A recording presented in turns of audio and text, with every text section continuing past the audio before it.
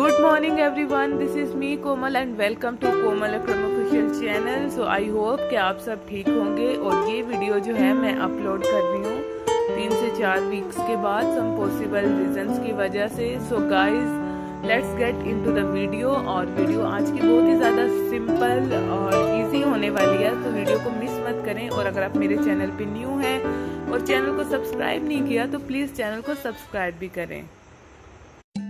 सो so, start करते हैं हम अपनी फ़र्स्ट रेमेडी जिसमें है हमारे पास लाइम देन मैं इसमें यूज़ कर रही हूँ पोटैटो और उसके बाद हम इसमें ऐड करेंगे ग्रीन टी ग्रीन टी भी आपके घर में इजीली अवेलेबल होगी. सो so, अब हम काट रहे हैं लाइम को और जो उसका जूस है उसको एक्सट्रैक्ट करेंगे. यहाँ पे जो क्वांटिटी है आप अपने मर्ज़ी के अकॉर्डिंग ले सकते हैं। जितना भी आपने अपने फेस पे अगर दो लोगों के लिए अप्लाई करना है तो ज़्यादा ले लें। सो लाइम का जूस जो है, उसको स्क्वीज़ करेंगे और उसके जो बीज हैं, उनको हम निकाल लेंगे।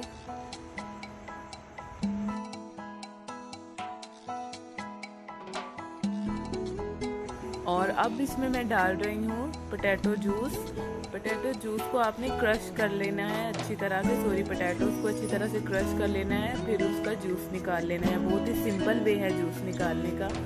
तो अब हम इसमें डाल रहे हैं दो टेबल स्पून जूस के, क्योंकि मेरे पास स्पून छोटा है तो इसलिए. और अब हम इसमें डाल रहे हैं ग्रीन टी ये भी half tablespoon green tea है. और इसको अच्छी तरह से हम कर लेंगे मिक्स मिक्स करना बहुत ज़्यादा ज़रूरी है तभी आपके जो फेस पे जो रिज़ल्ट है वो आएगा। सो so, अच्छी तरह से मिक्स हो चुका है। अब हम एक ब्रश की हेल्प से या कॉटन बॉल की हेल्प से इसको अप्लाई करेंगे अपने फेस पे अपने नेक पे अपने हैंड्स पे। ये जो सिंपल सी रेमेडी है गाइस बहुत ही ज़्यादा इसके रिज़ल्ट्स अच्छे हैं। और याद रहे मैं आपके साथ वही रेमेडीज़ और रेसिपीज़ शेयर करती हूँ जो कि मैं खुद भी अप्लाई करती हूँ। सो so, ये ड्राई हो चुका है। अब हम इसे ठंडे पानी से वॉश करेंगे।